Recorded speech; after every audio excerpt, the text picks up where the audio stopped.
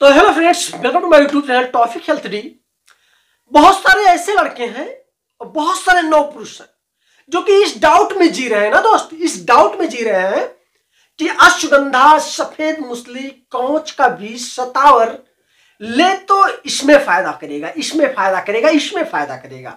मतलब तरह तरह की चीज़ों में उनकी फीलिंग्स चलती रहती है तरह तरह की चीज़ों सोचते भी रहते हैं।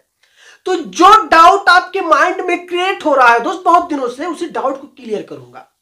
मैं अश्वगंधा सफ़ेद मुस्लिम सतावर कोच के बीच के बारे में पूरी बात नहीं करने वाला हूँ, क्योंकि ऑलरेडी मेरे चैनल पे इसके लिए वीडियो अवेलेबल है।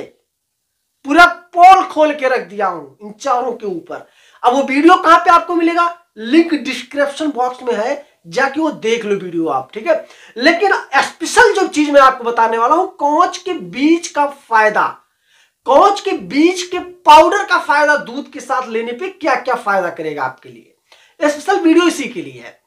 देखो दोस्त कोच का बीज जो होता है ना, ये वाकई में बहुत ज़बरदस्त चीज़ है, बहुत ताकतवर चीज़ है, खासकर लड़कों के लिए। तो लड़कों को यूज़ कैसे करना, उनको बेनिफिट क्या देगा, फ़ायदे क्या देगा, ज़्यादा ज़रूरी तो ये है जानना हमें।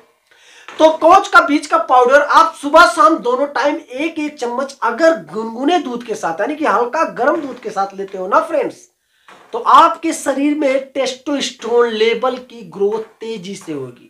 यानी कि टेस्टोस्टेरोन हार्मोन्स जो बॉडी में है, वो तेज़ी से आएगी, तेज़ी से बननी शुरू हो जाएगी और ऐसा होने पर आप कभी वीकनेस फील नहीं कर पाओगे।